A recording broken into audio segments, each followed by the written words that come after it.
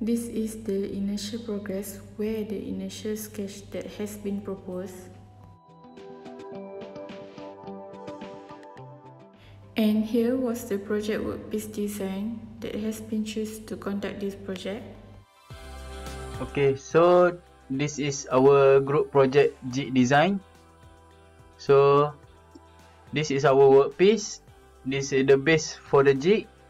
This is wing nut screw, knob screw. This is Allen key radius 2.5 for three for this three screw. This is Allen key 1.5 for this bow screw and this nut is with radius 2.5 mm.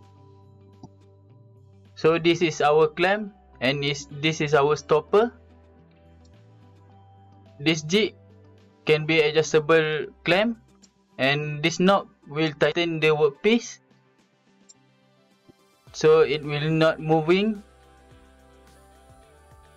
And then this is the locating and support method we use in this project. So here is the top part. And this is the clamping part and this is the how the V-block view